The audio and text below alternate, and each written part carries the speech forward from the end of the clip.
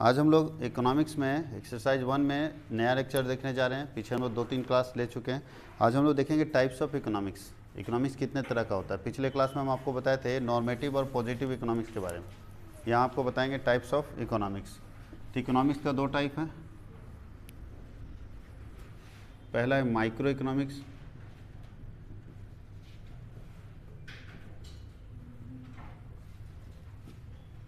सूक्ष्म अर्थशास्त्र।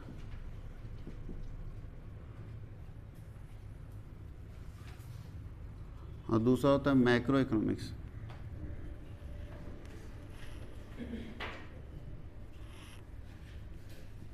समष्टि इसको बोलते हैं या व्यापक बोलते हैं? समष्टि अर्थशास्त्र।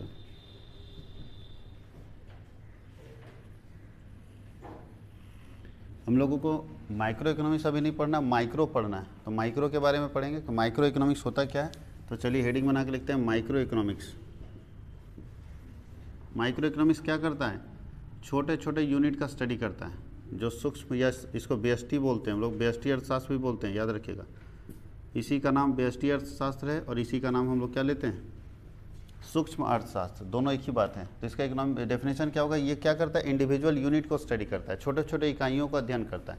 छोटे छोटे इकाइयों मतलब एक व्यक्ति का डिमांड कितना है, एक व्यक्ति का सप्लाई कितना है, एक व्यक्ति का, है ना? हम लोग देखते हैं कंजम्पशन पावर कितना है, ये सब चीज़ हम चेक करते हैं। लेकिन अगर पूरे देश का डिमांड चेक करना हो, तब क्या करेंगे? तब माइक्रो काम करेगा या मैक्रो काम करेगा? तो बड़े लेवल पर मैक्रो काम करता है, छोटे लेवल पर माइक्रो काम करता है। क्लियर चलिए शुरू करते हैं माइक्रो इकोनॉमिक्स का डेफिनेशन क्या लिखा हुआ है? It is the study of, it is the study of,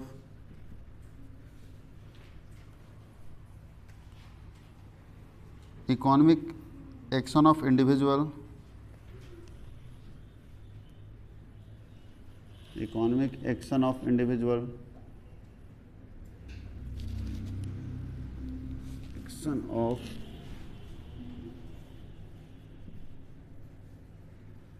individual and well defined group of individuals and well defined group of individuals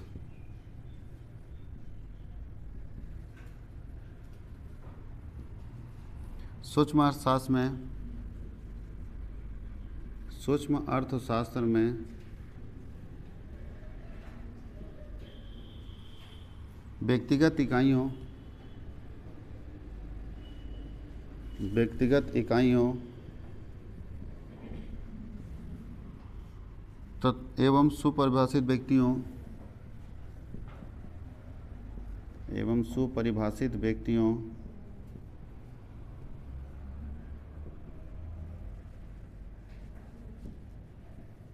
व्यक्तियों के समूह की आर्थिक क्रियाओं का अध्ययन किया जाता है।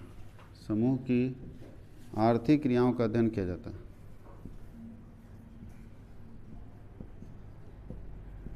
आर्थिक क्रियाओं का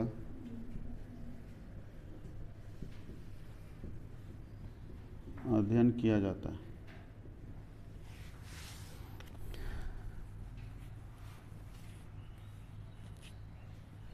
आप एक और डेफिनेशन लिखना चाहते हैं तो एक और डेफिनेशन लिख सकते हैं इट स्टडीज़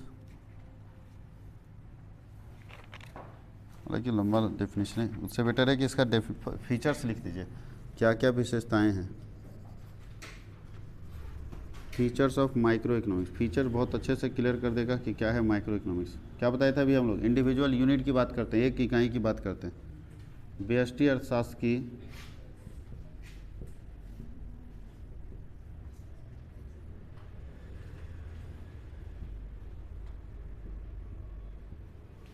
फीचर्स में ही तो सारा डेफिनेशन आ जाता है तो सबसे पहला बोलता है study of individual economic unit study of individual economic unit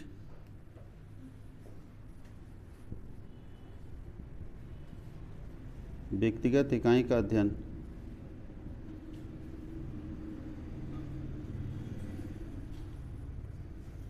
दूसरा है study of micro variables study of micro variables सूक्ष्म चरों का अध्ययन।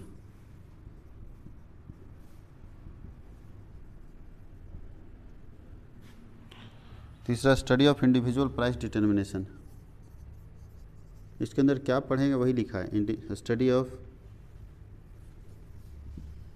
individual price determination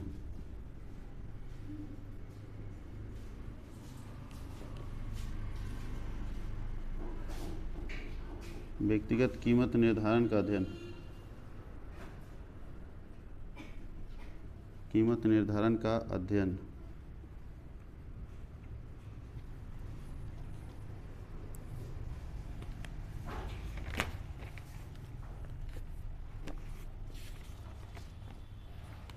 ये तीन फीचर से ध्यान दीजिए। वही हम आपको वही भी बता भी रहे हैं, सिर्फ़ इंडिविजुअल सिर्फ़ इंडिविजुअल अगर जहाँ ज्वाइंट पहुँच गए, वो माइक्रो इकोनॉमिक्स का पार्ट हो जाएगा। क्या लिखा है? पढ़िए। माइक्रो इकोनॉमिक्स के अंदर क्या होता है?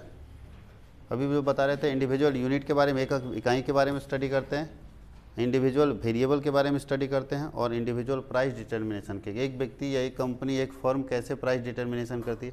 सोचिए, एक बिज़नेस कैसे अपने वस्तु का मूल्य तय करता होगा? एक बिज़नेस अपने वस्तु का मूल्य कैसे तय करता होगा चलो ठीक है, इनका कहना है कि सारे लागत जोड़ देंगे प्लस प्रॉफिट तो पता चला, आप जब लागत और प्रॉफिट जोड़ रहे हैं मार्केट में जा रहे हैं तो देखते हैं कि क्या पेन आप ही बनाते हैं और भी कंपनी बनाती होगी? और भी कंपनी बनाती होगी? तो आपका लागत आ गया, मान लो चार रुपया, और बोलते हैं एक रुपया से कम कमाएँगे नहीं तो पाँच रुपये में बेच रहे हैं, और आप ही जैसा पेन दूसरी कंपनी चार रुपये में बेच रही। तो क्या लगता है प्राइस आपकी मर्ज़ी से तय होगा क्या? तो यहाँ सेल्समैन की मर्ज़ी तय नहीं होता, बेचने वाला चाहता है कि हम ज़्यादा कमाएँ, लेकिन प्राइस आप तय नहीं करेंगे। किसान भी जाता है ना, टमाटर लेके बैठता है ना तो वो क्या करता है? वो भी चाहता है कि हम ज़्यादा कमाएँ, बहुत मेहनत किए हैं, गर्मी में बहुत पानी पटाएँ, वो भी लाठा कुंडी से पटाएँ, मशीन से नहीं पटाएँ, बहुत मेहनत पड़ा है। खूब पसीना निकला, दो रुपये कम से कम के पर कमाएँगे, लेकिन क्या कमा पाएगा? प्राइस अपने तय कीजिएगा आप, कभी भी प्राइस सेलर तय नहीं करता है। और ना ही परचेजर तय करता है। अगर खरीदने वाले को बोलोगे तो सबसे कम में लेना चाहेगा तो तुम्हारा घाटा भी हो जाए कोई दिक्कत नहीं, उतने में वो लेना चाहेगा। खरीदने वाला सबसे कम में, बेचने वाला सबसे ज़्यादा में, बिक्री कैसे होगा? तो प्राइस ना तो सेलर तय करता है और ना ही परचेजर तय करता है प्राइस तय करता है मार्केट प्रयास क्या होता है? मार्केट तय करता है। वही लिखा है कि एक इंडिविजुअल फर्म का प्राइस डिटर्मिनेशन अच्छा इंडिविजुअल फर्म रहेगा तो कभी कभी फर्म भी तय कर देता है। अकेला है तो फर्म तय कर दिया। लेकिन जो जब बड़े पैमाने पर चले जाते हैं तो वहाँ पे मार्केट तय करता है प्राइसेस को। कोई दिक्कत है? तो ये हम लोग स्टडी करेंगे इंडिविजुअल फॉर्म है ना? इंडिविजुअल यूनिट्स ये सब के बारे में। अब हम आपको बताएँगे कि branches of micro micro economics में कौन कौन से ब्रांचेज है, वो हम आपको बताने वाले हैं। पहले एडवांटेजेस का बता देते हैं, फिर ब्रांचेज बता देते हैं। चलिए, सबसे पहले हम लोग लिखते हैं importance of micro economics importance of studying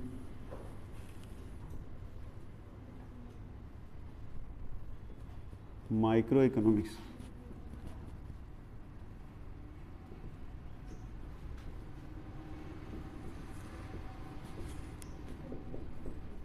bestie अर्थशास्त्र के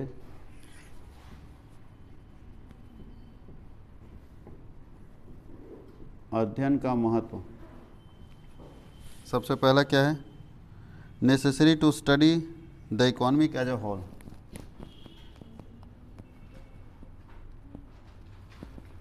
Necessary to study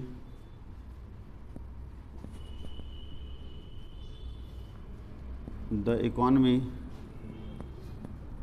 as a whole बोलता है संपूर्ण अर्थव्यवस्था के ज्ञान के लिए आवश्यक संपूर्ण अर्थव्यवस्था के ज्ञान के लिए आवश्यक।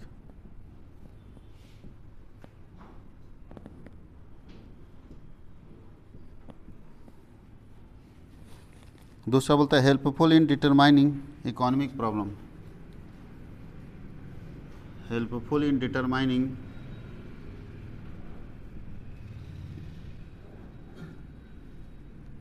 economic problem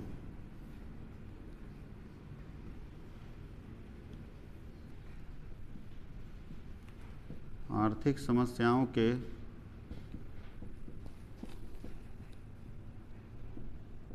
निर्धारण में सहायक।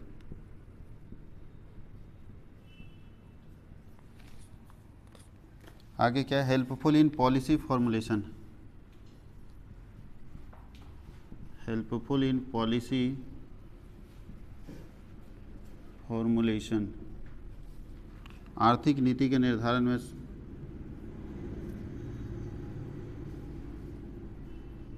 आर्थिक नीति के निर्धारण में सहायक।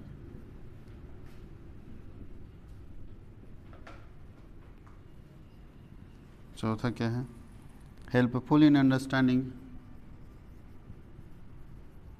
helpful in understanding the problem of applied economics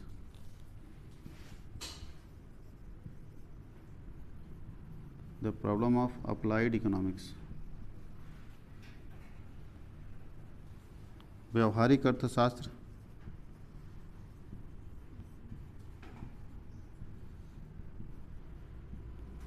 के ज्ञान में सहायक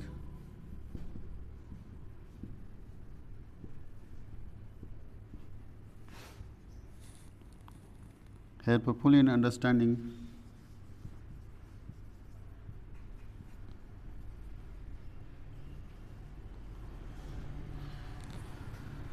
the working of capitalist economy.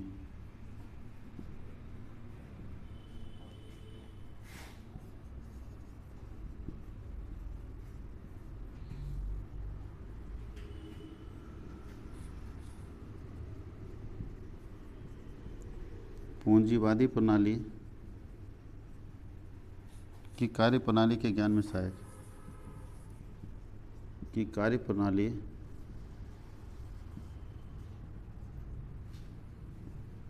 के ज्ञान में सहायक। एक एक करके समझिए कहाँ कहाँ मदद करेगा माइक्रो इकोनॉमिक्स आपको। तो सबसे पहले क्या मदद करेगा? सबसे फ़र्स्ट प्रॉब्लम क्या देखिए तो necessary to study the economic as a whole economy पूरा संपूर्ण अगर स्टडी करना चाहते हैं बताइए सारे लोगों के बारे में जानना चाहते हैं तो पहले उसके छोटे छोटे वेरिएबल को जाना पड़ेगा ना? और जब सारे वेरिएबल को जोड़ देंगे तभी ना पूरे इकोनॉमी के बारे में। आप चाहते हैं कि सरकार का इनकम हम देखें, पूरे देश का इनकम नेशनल इनकम चेक करें। तो भाई नेशनल इनकम चेक करने के लिए पहले छोटे छोटे लेवल पर इनकम चेक करना होगा हर व्यक्ति का। और जब सबको जोड़ेंगे तब ना नेशनल इनकम आएगा। राम का इनकम श्याम का इनकम गणेश का इनकम महेश का इनकम जब अलग अलग स्टडी करेंगे और जब सबको जोड़ देंगे तो निकल जाएगा नेशनल इनकम आगे क्या दूसरे में? Helpful in determining economic problem आगे आपको हम पढ़ाएँगे कि कुछ इकोनॉमिक प्रॉब्लम है, आर्थिक समस्याएँ हैं, उसको तय करने में भी मदद करता है आपका micro economics helpful in policy formulation अगर आप नीति बनाना चाहते हैं अपने बिज़नेस से रिलेटेड तो भी आपको माइक्रो इकोनॉमिक्स मदद करेगा, क्योंकि छोटे छोटे पॉइंट को यही स्टडी करता है। छोटे छोटे वेरिएबल को यही स्टडी करता है तो वहाँ से आप नीति बना सकते हैं अपने बिज़नेस के लिए। Helpful in understanding the problem of applied economics वास्तविक अर्थशास्त्र जो है, अभी के समय में जो अप्लाइड इकोनॉमिक्स है उसमें जो जो समस्याएँ हैं उसको समझने में भी मदद करता है। एक आपका माइक्रो इकोनॉमिक्स और लास्ट है helpful in understanding the working of capitalist economy अगर आप पूंजीवादी अर्थव्यवस्था में जी रहे हैं तो उसको समझने के लिए उसके काम को समझने के लिए कार्य दशाओं को समझने में भी मदद करता है माइक्रो इकोनॉमिक्स ये क्या होता है? पूंजीवादी अर्थव्यवस्था आगे आपको बताएँगे आप, आप लोगों को पढ़ना है। तीन तरह की इकोनॉमी होती है कैपिटलिस्ट इकोनॉमी सोशलिस्ट इकोनॉमी और मिक्सड इकोनॉमी कैपिटलिस्ट इकोनॉमी का मतलब सब कुछ प्राइवेट आदमी के हाथ में जैसा कि अमेरिका में होता है।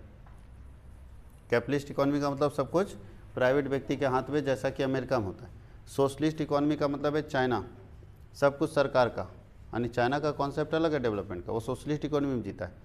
अमेरिका का डेवलपमेंट कॉन्सेप्ट है, वो कैपिटलिस्ट इकोनॉमी में जीता है। इसलिए दोनों में टक्कर होता रहता है। रशिया में भी सोशलिस्ट इकोनॉमी तो अमेरिका जो है, वो विरोध करता है सोशलिस्ट इकोनॉमी वाले का सोशलिस्ट वाला विरोध करता है कैपिटलिस्ट इकोनॉमी वाले। अब भारत को जानते हो, दोनों में किसी में नहीं रहता। है ये अलग ग्रुप में रहता है ना।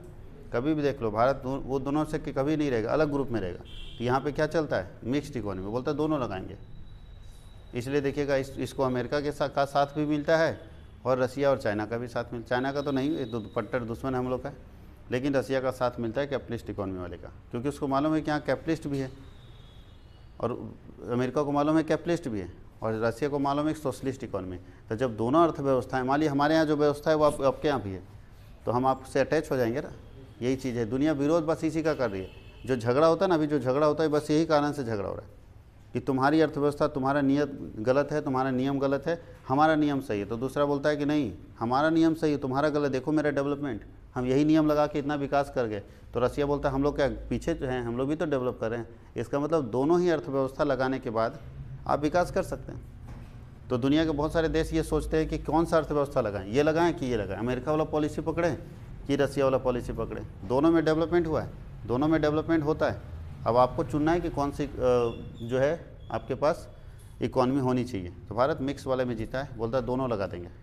यहाँ देखो, बताओ जी, अमेरिका में सब कुछ प्राइवेट है, रसिया और चाइना में सब कुछ सरकार का है। भारत में क्या है? सरकारी स्कूल भी यहाँ पे है तो प्राइवेट स्कूल भी है। सरकारी हॉस्पिटल भी है तो प्राइवेट हॉस्पिटल भी ज़मीन सरकार का तो ज़मीन प्राइवेट आदमी का भी है ना? कारखाना सरकार का भी है तो प्राइवेट हाँ ये ना यहाँ सब चलता है, यहाँ दोनों है, सर। यहाँ सब कुछ है मिक्स इकोनॉमी इसको बोलते हैं। तो आगे बताएँगे, इसको लिख लीजिए, फिर हम लोग आगे देखते हैं।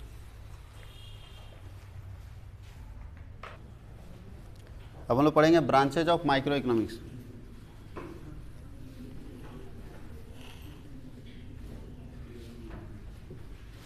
branches of micro economics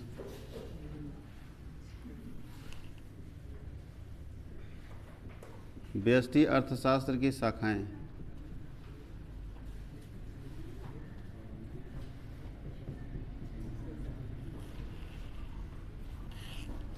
चलिए सबसे पहला ब्रांच है product pricing theory. Product pricing theory. वस्तु कीमत सिद्धांत।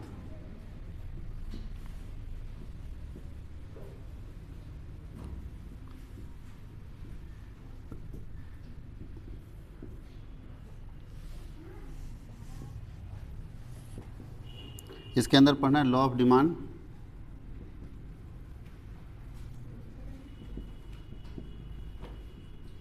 मांग का नियम. और दूसरा पढ़ना production and cost theory. Production and cost theory.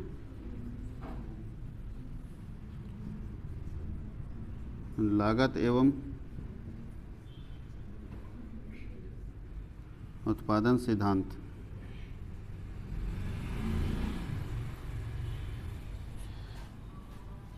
दूसरा factor pricing theory.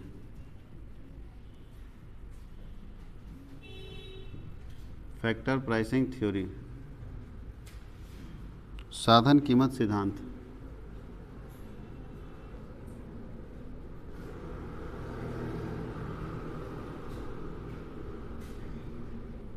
Factor pricing theory साधन कीमत सिद्धांत।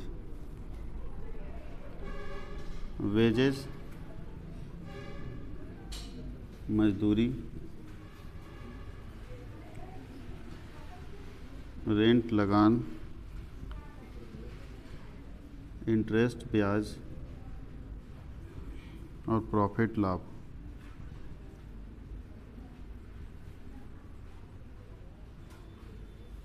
और लास्ट है इकोनॉमिक वेलफेयर थ्योरी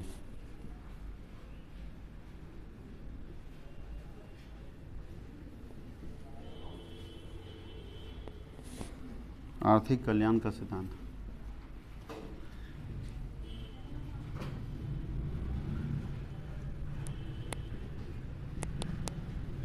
देखिए, इसको समझिए अच्छे से क्या क्या लिखा हुआ, कौन सा आपको पढ़ना है, कौन सा नहीं पढ़ना है। तो आप लोगों के सिलेबस में सिर्फ़ प्रोडक्शन प्रोडक्ट प्राइसिंग थ्योरी पढ़ना है। ये देखो ये।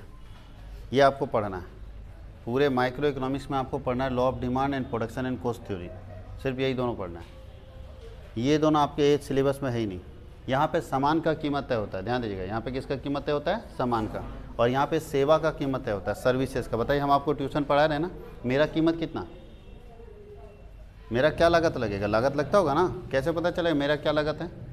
बहुत बच्चे को लगता है कि सर आपका क्या लागत है? कुछ तो लगता नहीं।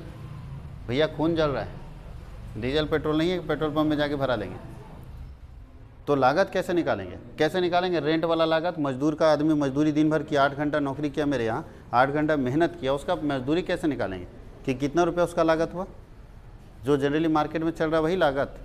तो लागत कैसे तय करेंगे? मजदूरी का, रेंट का, जिसका आप एक महीना तक किराए पे कमरा रखे हैं, उसका लागत भी तो आता होगा।